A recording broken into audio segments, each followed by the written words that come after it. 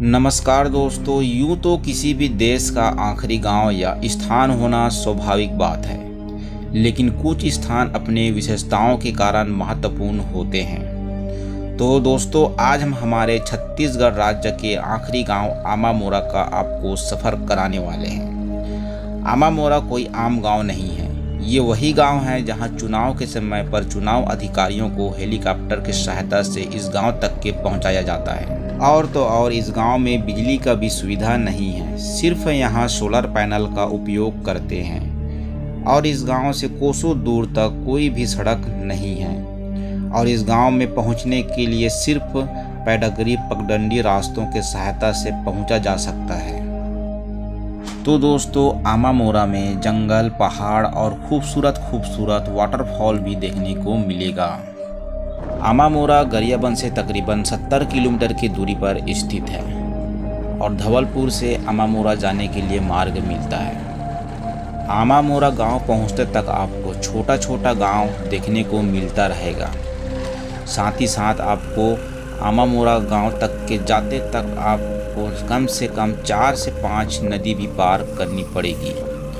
और पक्की रोड भी आपका साथ छोड़ देगा। उबड़ खाबड़ रास्तों को आपको तय करते हुए पगडंडी रास्तों पर चलना होगा, तभी जाके आप आमामोरा गाँव तक के खूबसूरत सब वादियों को देख पाएँगे और यहाँ आपको पहाड़ी पहाड़ नज़र आएँगे। काफ़ी ज़्यादा मुश्किल रास्ता भी है यहाँ पे और देख सकते काफ़ी ऊबड़ खबड़ रास्ता को तय करना पड़ता है आमा मोरा गाँव जाने के लिए। उतना ज़्यादा यहाँ पे बारिश भी हुआ है, देख सकते हैं इधर पूरा। और इधर पहाड़ का नज़ारा तो आप दिखाते हैं आप किस प्रकार से यहाँ पे पहाड़ आपको देखने को मिलेगा, काफ़ी खतरनाक और ख़ूबसूरत सा। फिर से बारिश चालू होने वाला है यहाँ पे। तो कोशिश करते हैं जल्दी जाने का। तो हमें इसी उबड़ खाबड़ पगडंडी रास्तों पे गाड़ी चलाते हुए आमा मोरा गाँव तक के पहुँचना होगा और ऐसा कहा भी जाता है कि ये नक्सल प्रभावित क्षेत्र है। काफ़ी ज़्यादा खतरनाक रास्ता और देख सकते हैं। है? दिखाता हूँ टकराना है काफ़ी ज़्यादा ख़राब यहाँ पे रोड रोड ही नहीं है यहाँ पे पूरा जंगल झाड़ी से होते हुए आए आवाज़ें भी जाती हैं।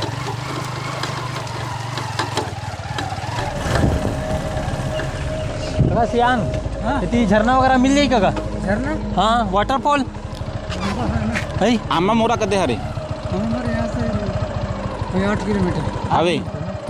हाँ झरना का नहीं है आसपास में वाटरफॉल झरना अभी तो रहे वहाँ कर का यानी का वाला हो।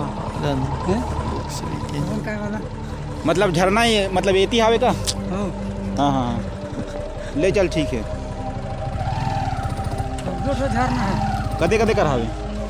तो पार है खन बीच में नाला है। तो कितना दूर पड़ी? हाँ। हाँ और सुन ना बाबा झरना मन के नाम नाम का हरे बुढ़ा राजा।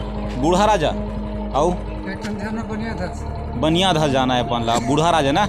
पहली बूढ़िया मतलब बूढ़ा राजा पढ़ी कि बनिया धस पढ़ी? पहली ना? ये गाँव वाला पार कर तान मिली? हो हो। ले चल ठीक है। हाँ हाँ ठीक है बनिया धस। तो दोस्तों यहाँ पर भी एक बार पूछ लेते हैं कि हमा मोरा जाने के लिए मार्ग किधर से जाते हैं तो? सुनो छोटो ये है कितना दूर यार? अम्मा मोरा आठ दस किलोमीटर है ना? और झरना कदे करे? ये का ये का झरना है का झरना झरना। वाटरफॉल आवे हाँ, चल ठीक मतलब कितना दूर पड़ी यहाँ हाँ क्या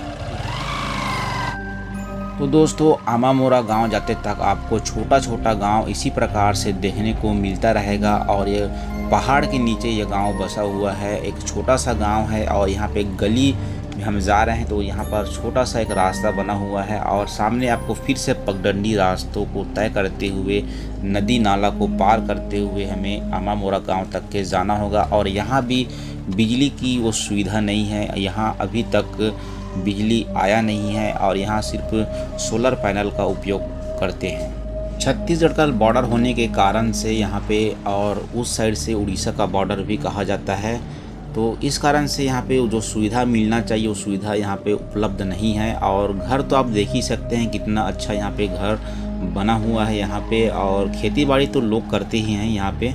तो इस प्रकार से यहाँ पे खूबसूरत सा पहाड़ और जंगल से घिरा हुआ ये गाँव भी है। और गाँव का क्या नाम है पता नहीं है। तो चलिए पूरा आपको दिखाते हैं कैसा है। तो दोस्तों देख सकते हैं हम लोग उस जगह पर पहुँचने वाले हैं। हमने पर एक बनिया टोड़ा वाटरफॉल भी वो वो भी आपको दिखाने वाले हैं। उससे पहले आपको दिखाते हैं यहाँ पर देख सकते हैं ट्रैक्टर वगैरह खराब हो चुका है। इतना ज़्यादा यहाँ पे रोड खराब है तो पूरा खाई में गाड़ी चलाना पड़ता है। तो चलिए आपको दिखाते हैं कैसा वाटरफॉल आपको देखने को मिलेगा। तो वीडियो पर शुरू से लेकर लास्ट तक के बने रहिए। तो दोस्तों इस प्रकार से आमा मोरा गाँव जाने के लिए इसी प्रकार से पगडंडी रास्तों के सहायता से हमें आमा मोरा गाँव तक के जाना होगा। रास्ता कैसे है रास्ता थोड़ा खराब है नहीं। नहीं मोटरसाइकिल चलते जाही हो ने जाही क्या थे? हाँ हाँ। चल ठीक है। में जाही ने फिरे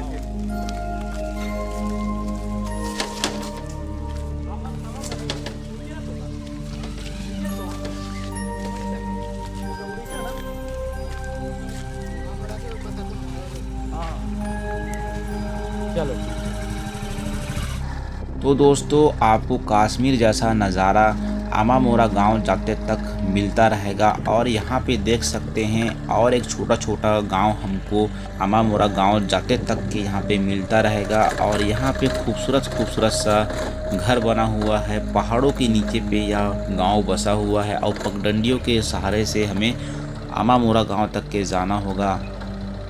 और यहाँ पे आपको छोटा छोटा घर झोपड़ी बना के लोग रहते हैं। ज़्यादा खास करके यहाँ कमार जनजाति के लोग इस गाँव में ज़्यादा निवास करते हैं और अमामोरा में जाके हम पता करेंगे कौन से जनजाति के लोग अमामोरा गाँव में निवास करते हैं। ये आपको पूरी जानकारी इस वीडियो पे देखने को मिलेगी और यहाँ पे देख सकते हैं पगडंडी रास्तों के सहायता से हम अब पहुँचने वाले हैं अमामोरा गाँव की तरफ़। दोस्तों, आखिरकार हम पहुँच चुके हैं आमामोरा गाँव, जो कि छत्तीसगढ़ का सबसे ऊँचा गाँव भी कहा जाता है। तो आपको अभी दिखाने वाले हैं गाँव का पूरा विलेज, कि किस प्रकार से लोग यहाँ पे रहते हैं और किस प्रकार से यहाँ पे घर बना हुआ है और कितने घर है, कितने लोग रहते हैं और यहाँ पे बिजली की सुविधा है या नहीं है और यहाँ पे नेटवर्क का भी सुविधा है, ये पूरी जानकारी आपको इस वीडियो पे देखने को मिलेगी।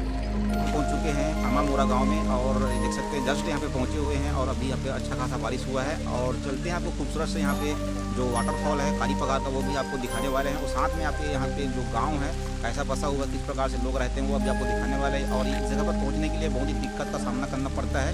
और यहाँ पर रोड तो देखने को मिलेगा ही नहीं, क्योंकि इतना उबड़ खाबड़ रोड है यहाँ पे। और देख सकते हैं, कुछ बच्चे लोग यहाँ पे बैठे हुए तो चलते हैं, वीडियो को शुरू करते हैं।